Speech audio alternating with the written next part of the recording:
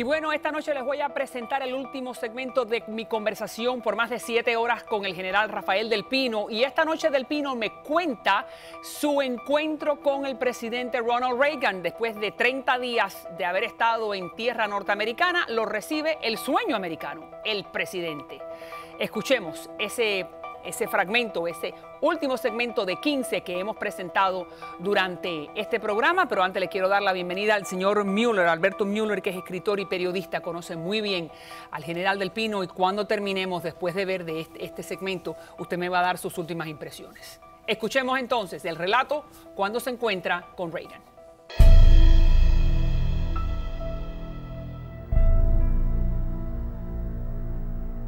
No le pidieron cooperación, no le pidieron que compartiera información. No, eh, muy interesados en, la cosa del narcotráfico, de si yo tenía conocimiento de...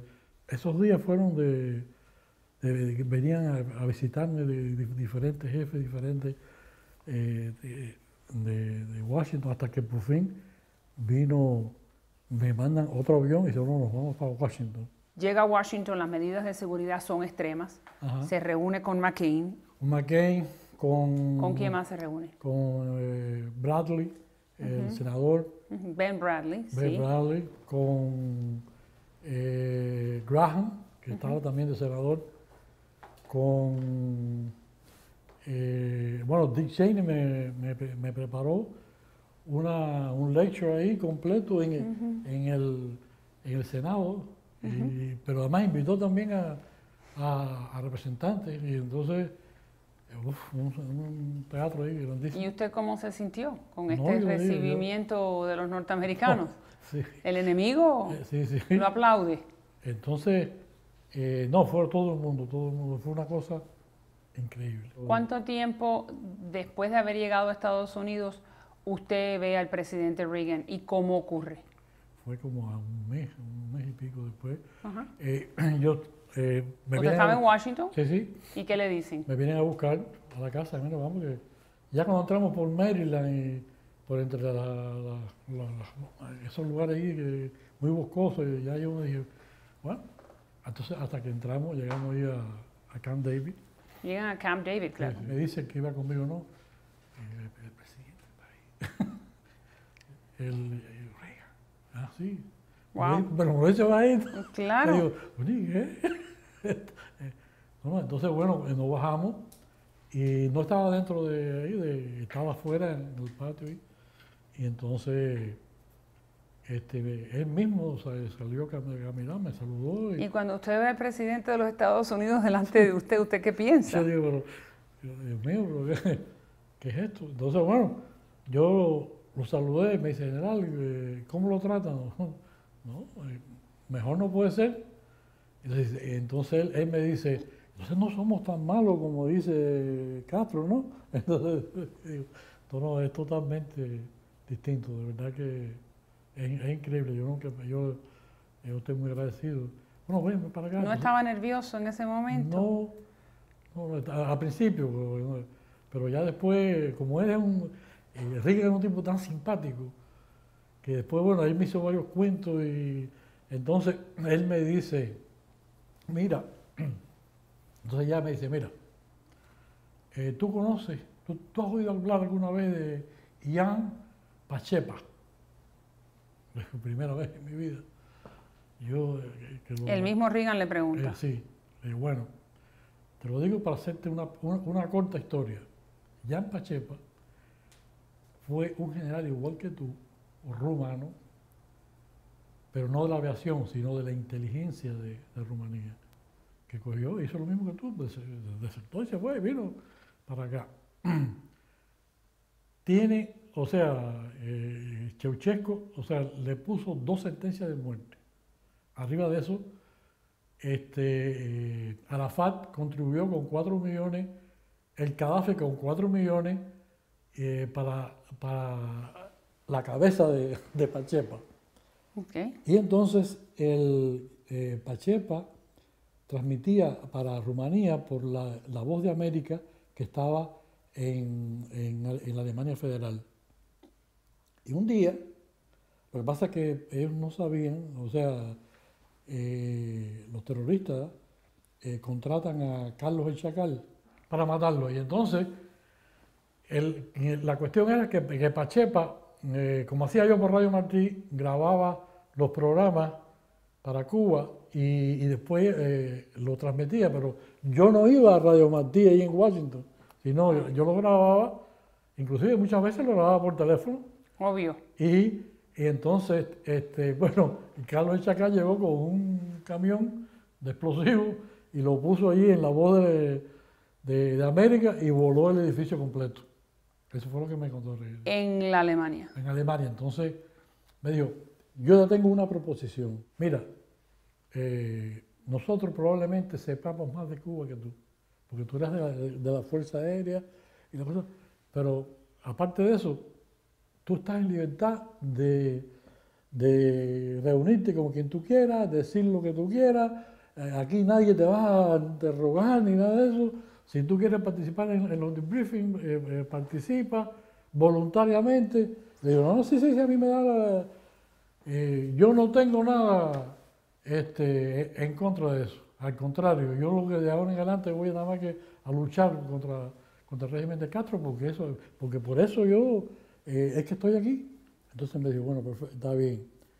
Yo te propongo, porque a, ti te va a ser muy difícil empezar de nuevo. Y le digo, no, pero yo estoy joven, yo, puedo empezar de nuevo. Y además yo vine con esa idea. Me dice, no, pero yo, lo que te propongo es que, ah, entonces me dice, no, porque mira, lo más importante es el golpe moral que tú le has dado a Fidel Castro. Tú no te imaginas todavía la, la importancia eh, eh, psicológica y moral que tú le has dado, que eso vale más que cualquier información que tú puedas dar, que eh, por eso es que están rabiando, por eso es que Fidel se metió como dos horas ahí hablando de ti por la televisión. Entonces, este, me dice, yo lo que te propongo es que considerarte como si fuera, como si fueras un no quiere decir que me iba a ser general, porque hay gente que dice, no, porque eres un general americano. No, no, yo no soy ningún general americano. Sencillamente me dijo, yo te puedo considerar como si fueras un general norteamericano y asignarte un retiro de, un general norteamericano por la contribución que tú has hecho a los Estados Unidos con el golpe moral que tú le has dado al comunismo y, a, la, dictadura de, Fidel Castro. Entonces yo me quedé así. wow. Wow.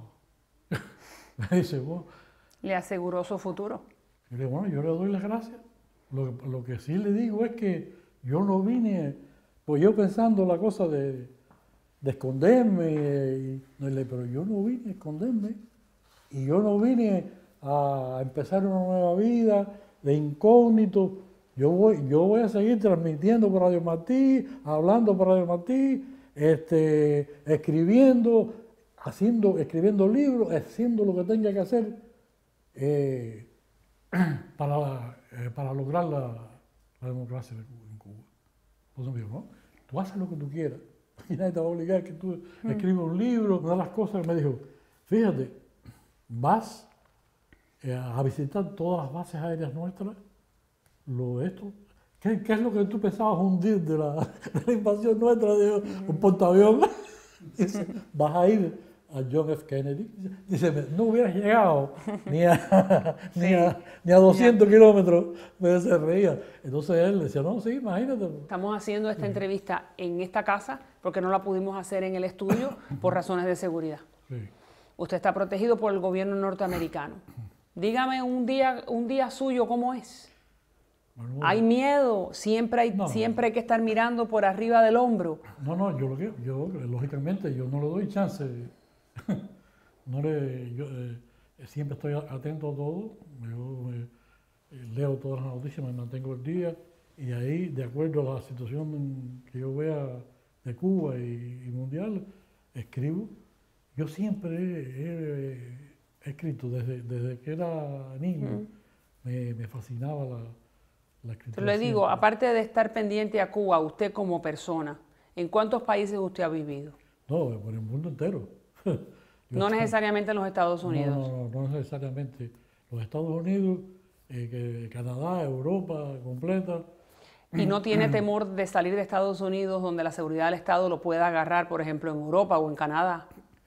No, porque yo voy y regreso y cambio. Y además yo necesitaba, la, mejor forma que, había para yo poder ir a, África del Sur y reunirme con, con los sudafricanos era desde Europa. Por eso yo lo amarré todo con un general sudafricano y entonces eh, él me, eh, yo le dije, bueno, eh, sí, hay su riesgo, acuérdate que ya ahora aquí tienen una influencia tremenda. Mm. Entonces, así todo lo, amarramos y ahí fue que yo tomé un avión que, aquí pusieron el grito en el cielo. Aquí las autoridades norteamericanas. Sí, pero que tú estás loco, que te van a matar ahí. Le dije, no, pero es que ese es el, el eslabón que falta en este libro y yo tengo que terminar el libro ese y me quedan dos libros más, por lo menos. ¿Sobre qué? Sobre lo que ha pasado después de los intentos de ellos de, de, ajusticiarme. Pero bueno, no puedo decirlo porque... Eh, los intentos que ellos han efectuado de ajusticiarlo significa que gente que, gente que han, ellos han mandado para... Ajá. Pero que hay... hay eh, hay mucha eh, tela por donde cortar ahí y además hay mucha gente en Cuba todavía que, que viven ahí, que... ¿Que, coopera con usted? ¿Eh? ¿Gente que coopera con usted? No, no, no, precisamente. Si cae en lo, el régimen de los Castro, ¿usted regresa? Sí, claro, yo, yo regreso. Yo sé que yo no tengo ninguna ni pertenezco a ninguna organización de, ni del exilio, ni de ninguna parte. Yo soy eh, One Man Operation y, regreso a Cuba para, dar la ayuda que, pueda brindar sin, eh, desinteresadamente. Finalmente, cuando usted logre ir nuevamente, ¿qué es lo primero que haría? Yo iría para Pinal del Río, a la tumba de mi madre que murió ya y no pude. ¿Qué haría después? Eh, eh, apoyar y, ponerme al servicio del que quiera reconstruir Cuba. Le agradecemos, general. No, gracias a ustedes. Gracias a ustedes por darme esta oportunidad de, hablar de todos estos libros y de, hacer un poco de historia para que lo reciban mis compañeros de las Fuerzas Armadas de Cuba, para que entiendan que que lo que es eh, eh, vivir de, esta forma y para que entiendan la verdad, para que sepan de lo que, de que en un momento determinado tienen que ponerse al lado del pueblo, que eh, el pueblo nuestro está por encima de todo y bastante ha sufrido ya. Todo depende de, la decisión y, que tome el pueblo de Cuba ante, ante tanta opresión. Y cuando ese momento llega, si es que llega, que ojalá eh, cambie sin, necesidad de, que llegue, que jamás viren las armas contra el pueblo. Que eso sería lo último que, que, que, sería eh, el, final de nuestra patria como nación. Y nadie quiere eh, que nuestra sociedad se acabe de, desintegrar. Esperemos que lo escuchen. Y gracias nuevamente.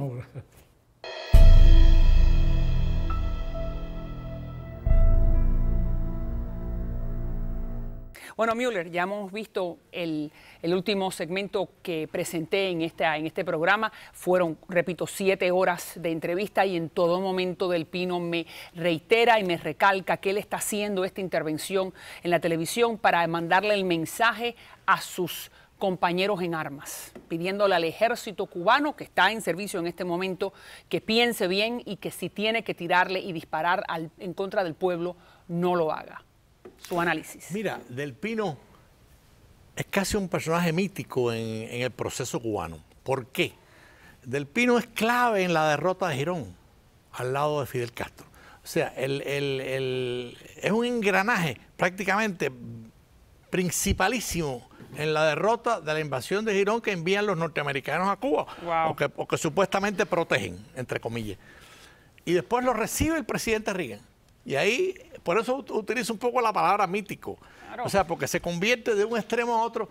Y del Y Pino como le ofrece que sea, Claro. que sea miembro, que bueno, que le va a dar los mismos privilegios que le da cualquier general norteamericano, que le ofrece la protección bajo el programa federal donde todavía está Del. Pino. Porque además, esa es la filosofía de la historia americana, no es Reagan solamente. O sea, la filosofía de este pueblo, generoso, fuerte, eh, Sí, a, veces, compasivo, a ¿no? veces combativo, a veces impositivo. Pero esta es una nación de palabras, es una nación de libertad y es una nación de dignidad, con todas Mm. las críticas que podamos hacerles a Estados Unidos. Y ese es Reagan. Bien. Y tú lo dijiste, sí, Reagan representa el sueño americano. Qué, qué curioso, qué paradójico que sea Reagan el que le abra los brazos y reciba al hombre de Girón. O sea, al hombre que Sin al lado de, de Fidel derrota a Girón, que además se da cuenta después de la mentira de todo lo que él defendió y tiene, porque además del, del Pino es un hombre digno. Vaya, no cabe duda que es un hombre con, con estructura de dignidad propia. Sí. Por eso está aquí. Y no, por- y, y lo es importante, y solamente para, para destacar eso que usted está diciendo, Del Pino sale en el momento cuando estaba en su gloria. Claro. Del Pino no necesitaba retirarse del régimen. no necesitaba el riesgo que corrió en venir a tierras de libertad, pero es que la libertad es tan fuerte, es tan misteriosa y además es tan, eh, es tan humana que cualquier ser humano, pues a pesar de los errores que cometió Del Pino, de creer en aquel desastre, de creer en aquel sistema que lo único que ha hecho es destruir a Cuba y llevarlo a la miseria, pues ahí, ahí está la dignidad del ¿Usted Pino. piensa que puede ser efectivo el hecho que Del Pino le está hablando ahora a esos camaradas, a, a la gente que todavía sirve en el ejército? ¿Usted cree que puede calar el mensaje que le está enviando a través de, de esta televisión? Yo creo que sí, yo creo que cualquier mensaje, tal vez el error de Del Pino es pensar que la estructura militar que él vivió todavía está permanente. Tal, eh, tal vez ese sea un enfoque discutible, pero obviamente el mensaje siempre es positivo. Pero son las mismas personas. Porque el, el que era general con él en un momento sigue siendo general y los que estaban en segundo rango, eh, sí, pero- eh, ese cuerpo al que él perteneció sigue intacto. Sí, pero la generación de Del Pino prácticamente ya pasó. O sea, hoy en Cuba, los generales, la mayoría de los generales y coroneles y la alta oficialidad, hoy no es de la generación de Del Pino. Y es más, yo, yo acabo de recibir una anécdota de Cuba que es impresionante. En una casa de asistencia social, no voy a decir eh, qué religión, porque todas las religiones en Cuba, los metodistas, los protestantes, los episcopales, los católicos, hacen trabajo asistencial. Y en una casa asistencial había dos generales. Ni menciono el nombre, ni menciono la en, religión. en activo. En- no, no, retirados.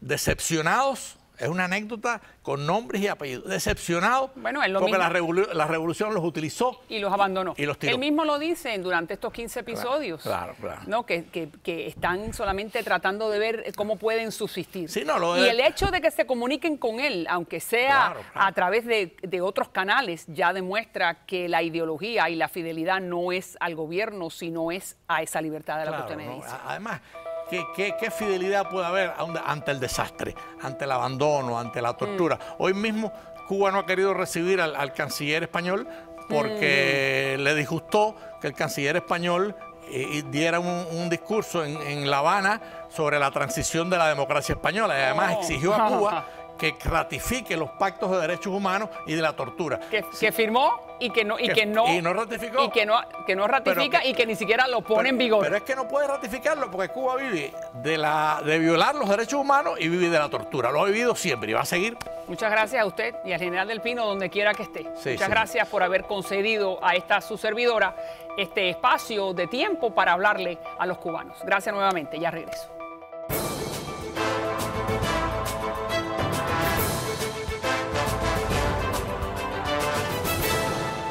Bueno, vamos entonces a hacer una pequeña pausa para hablar de cosas que son buenas para nuestro cuerpo y ahí está el representante de Madre Cell Plus. ¿Cómo está usted, caballero? Muy bien, María Elvira, gracias. El señor Aponte, yo sé que esto es un medicamento especial que ayuda a todo aquel que tiene artritis, que tiene diabetes, que tiene problemas en la circulación. Dígame cómo funciona Madrecel. Muy bien, sí, nuestro cuerpo tiene un poder especial, que es el poder regenerativo. Y eso es exactamente lo que las células madres pueden brindarle a nuestra salud. La regeneración celular. Y eso es lo que conseguimos con Madrecel Plus, que es la que estimula la médula ósea para que produzca nuevas células madres. Estas viajan a través del torrete sanguíneo y se alojan en el órgano que más lo necesite, regenerándolo por completo y eliminando todos estos padecimientos, María Elvira. No, sí, y eso es muy interesante que viajan por el torrente y explícame la alga que hace que eso ocurra de esa manera. Sí, Madre Plus es un tratamiento 100% natural, gracias a su ingrediente principal, la superalga Apanisomenon flos aquae, que es la que estimula la médula ósea para que produzca nuevas células muertas y elimine por completo esas células. Y dime si hay algún tipo de contraindicación en este producto o esto es completamente natural. No, no, no. Madre Cell Plus es 100% natural, sin ningún tipo de contraindicación y más que nada, además de prevenir las enfermedades, también la elimina, María Elvira. Dime en particular, ya yo te mencioné la artritis, que te mencioné también la diabetes, ¿cuál otro padecimiento podría ayudar Madre Cell Plus? Sí, muy bien. Las personas que sufren de diabetes, artritis, hipertensión, dolores musculares, falta de energía, falta de memoria, preste mucha atención, porque con Madre Cell Plus podemos eliminar por completo todos esos padecimientos. Y sin ningún tipo de contraindicación y que todo a nivel natural. Ahora dígame cómo pueden obtener y cuántas, cuántas botellitas van a recibir los que vienen referidos por este programa. Muy bien, sí, María Elvira. Llamando al número en pantalla en estos momentos pueden obtener el tratamiento de Madre Cell Plus. Pero no solo eso, si eres de las primeras 50 llamadas que marquen el número en pantalla en este momento, podrás obtener el segundo mes del tratamiento completamente gratis. Y si llamas y eres referido por el programa de María Elvira, obtendrás el tratamiento reforzado aparte de tu orden. Así me gusta, el reforzado y más ahora que estamos en tiempos de Thanksgiving o de darle gracias, te damos gracias a ti por tratar también a mi público. Un abrazo, hasta la próxima. Este Día de Acción de Gracias es especial para los beneficiados por la acción ejecutiva del presidente Obama. Una historia de vida. Hoy en María Elvira.